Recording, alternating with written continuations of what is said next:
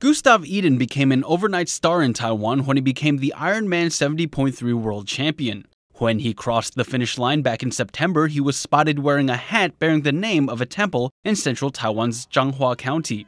No, Iden didn't have a sponsorship deal. In fact, that he found the hat at all was a matter of pure coincidence. Someone had dropped the hat on a street in Japan, and that's where Eden found it. He didn't know where it had come from, but took to wearing it as a kind of good luck charm.